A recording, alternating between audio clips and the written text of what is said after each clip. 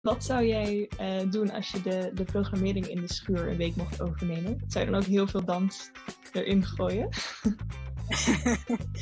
ja, ik vind het juist heel mooi om uh, verschillende artistieke vormen met elkaar te combineren. En dat doe ik ook in mijn werk. Ik werk met, uh, met muzikanten, met beelddenkers. Als ik de toneelschuur, wauw.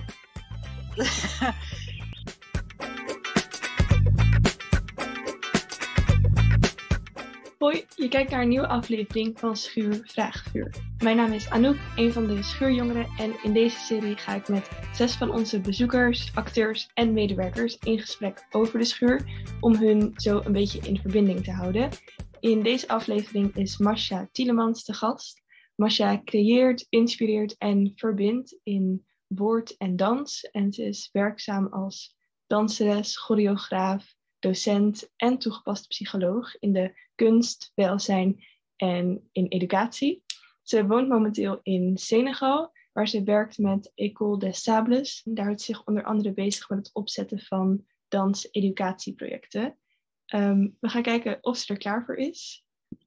Ja, allereerst welkom Masha. Dankjewel dat je um, vanuit Senegal helemaal uh, tijd voor ons hebt om even via Zoom te praten. Wat mij betreft gaan we van start. Ja, let's go. Alright. Um, allereerst kun je vertellen wat de schuur voor jou betekent in drie woorden, liefst eigenlijk. Ja, uh, dat is uh, ontspanning, inspiratie en samen. Dat komt in mij op als ik uh, aan, de, aan de schuur denk. Mooi. En um, wat is je, je fijnste of je mooiste herinnering die je hebt um, als je nu terugkijkt?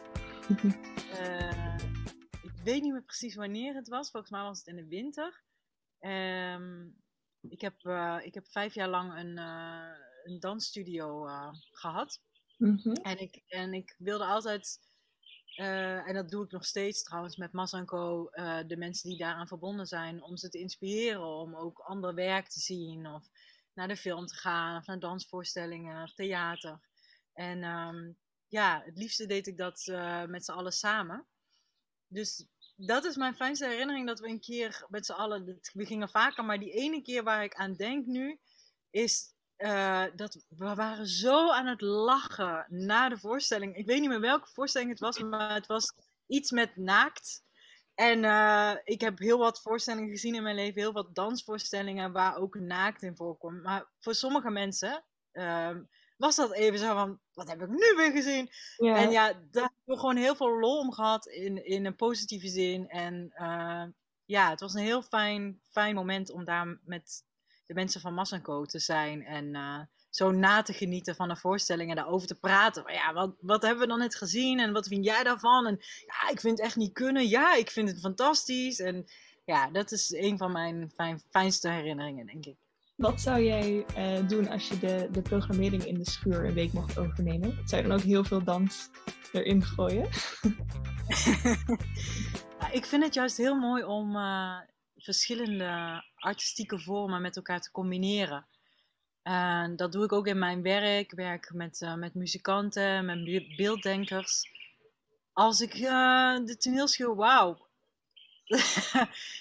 um, Jeetje, ja, wat ik zou doen is denk ik samenwerken met jonge makers. En dus beelddenkers, dansers, choreografen, uh, woordkunstenaars, muzikanten, ontwerpers, die samenbrengen.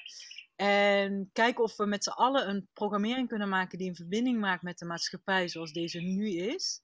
Um, en zowel een programmering voor binnen als voor buiten afgelopen zomer, geloof ik, is er ook een programma buiten geweest bij de toneelschuur.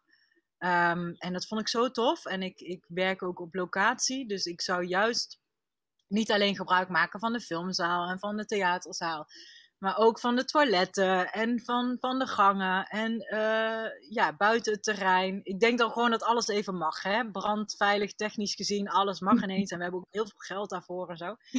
en, uh, ik zou dan met al die creatieve geesten zou ja, zou ik samen iets gaan ontwikkelen. En de vragen stellen van wat wil je vertellen? En um, op welke manier? En hoe staat dat in verbinding met, met wat er nu speelt? En hoe staat dat in verbinding met de andere maker? Um, hoe kunnen we ervoor zorgen dat iedereen zich welkom voelt in de toneelfilmschuur. Uh, jong, oud, ouder, uh, van allerlei afkomsten, met allerlei verschillende verhalen. Um, en ik zou, dat zou, want dat, dat is echt iets wat ik heel fijn vind soms, wat ik dan zelf doe met, als ik dan met de dansers van Mas Co naar de schuur ga. Ik zou naar iedere uh, voorstelling een interactiemoment creëren met het publiek. Mm um, en dat we dus in gesprek gaan met het publiek. En dat we gaan kijken, gaan onderzoeken van wat heeft die voorstelling eigenlijk met mij gedaan? Of wat doet de voorstelling met mij? En dat gaan onderzoeken met elkaar in beweging, in geluid, in beeld, in taal. Um, ja, zodat er ook nieuwe ontmoetingen ontstaan. Dat mensen nieuwe. Want je, meest, heel vaak gaan mensen met hun partner of, of met een collega of soms alleen. En hm. hoe tof als je dan ook echt dat probeert te faciliteren vanuit de toneelschuur, filmschuur, om die, die ontmoetingen. Soms hebben mensen een beetje hulp nodig. Dat je niet alleen maar naast elkaar zit van, ah ja, goeie avond, nou fijn, ja, leuk, voorstelling, ja, oké. Maar dat je dat een beetje helpt om die mensen ja, in contact met elkaar te brengen en die voorstelling nog te laten doorsudderen, zeg maar. Zorgen dat, dat iedereen zich welkom voelt. Dat het publiek niet alleen wit is en met een beetje grijze haren. Ja. maar dat... goed gezien, goed gezien. ja, maar dat het van, van alle kleuren en, en, en licht en energieën, dat dat allemaal welkom is. En dat mensen zich ook aangetrokken voelen om dan naar het programma te komen kijken. Ja, ja. ja zeker.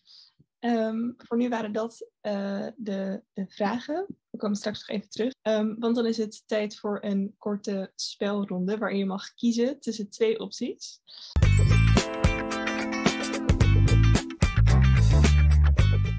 Nooit meer dans bekijken of nooit meer dans maken?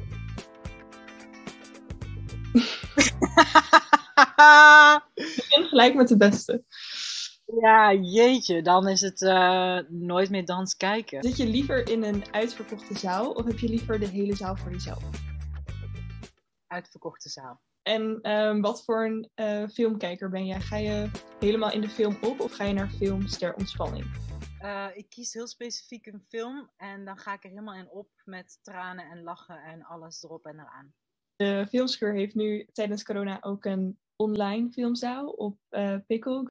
En ik ga je uh, de drie nieuwste films die deze week zijn verschenen um, even in twee zinnen voordragen. En dan mag jij kiezen welke film jou het meest aanspreekt.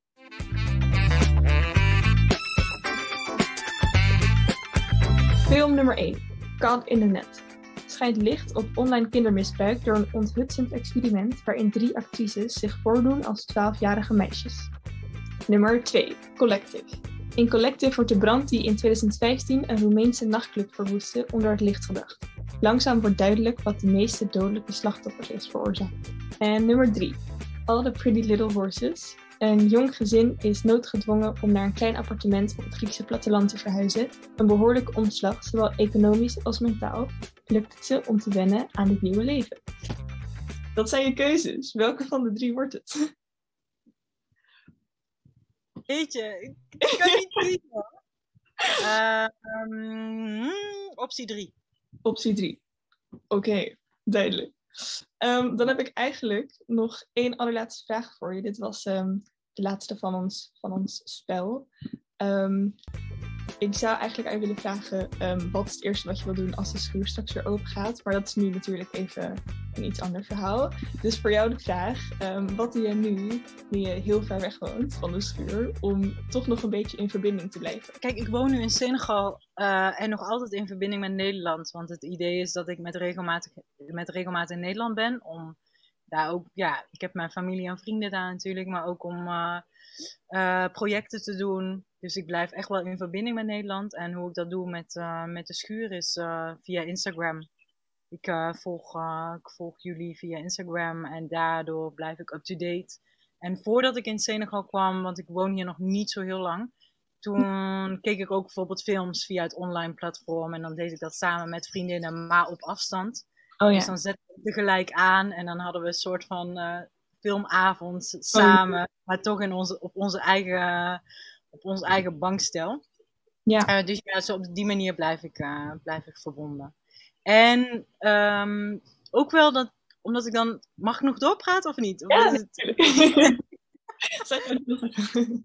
Omdat uh, ik blijf ook wel verbonden doordat ik bijvoorbeeld bepaalde mensen heb ontmoet in de schuur, waar ik nu dan nog contact mee heb. En dat zorgt dan ook wel voor de herinnering met de schuur, waardoor die verbinding blijft. Ja. ja. Ja, dat is toch wel mooi dat dat toch kan of zo. Los van corona, dat het dus inderdaad online toch wel werkt op de een of andere manier of zo, om die verbinding ja. te... Ja. ja, en ik denk vooral wat ik, wat ik in het begin zei over dat samen. Het is een plek waar mensen samenkomen. Mm En dat, voor mij siddert dat gewoon nog steeds door, ook al zijn we daar fysiek nu niet aanwezig. Die verbinding die, die, is, die is geplant al lang geleden en die, die gaat dan nu, ja, die gaat gewoon door. Ja, nou, super mooi gezegd. Echt dankjewel. en überhaupt bedankt voor het, uh, voor het meedoen en voor je tijd. Um, en wie weet tot in de schuur of nog een keer online. Uh, of misschien gaan we nog iets van jou zien. Dankjewel. Ja, dankjewel. Doei doei. Doei. Alright, dat was hem alweer. Ik hoop je de volgende keer natuurlijk weer te zien. Vergeet in de tussentijd niet te abonneren op ons YouTube kanaal als je dat nog niet hebt gedaan. En hou vooral de socials in de gaten, dan mis je zeker niks. Tot dan!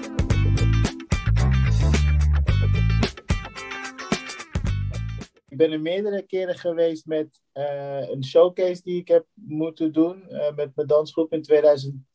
Um, ehm, voor zeg maar, het blad uh, um, Unlimited Magazine. Dat dus zeg maar voor en door um, jongvolwassenen met chronische ziekte en lichaambeperking. Mm -hmm. Dus dan mochten wij zeg maar de, de, de het openen met een dans.